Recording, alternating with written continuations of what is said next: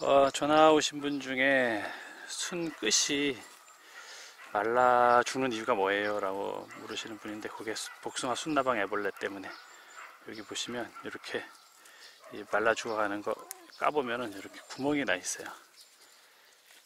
아, 이렇게 예. 애벌레 보이시나? 나와 이 자식 아이 터졌네.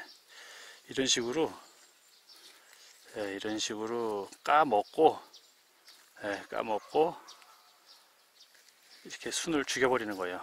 음, 상처가 났으니까 어떻게 되죠? 이게 수지가 또 나오죠.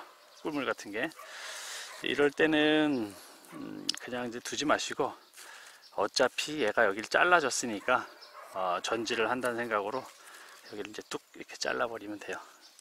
제가 이제 전지가위를 안 갖고 왔는데 이런 식으로 잘라버리면 됩니다. 음, 여기 보면은 아 얘도 아유 얘는 이제 먹고 갔네요.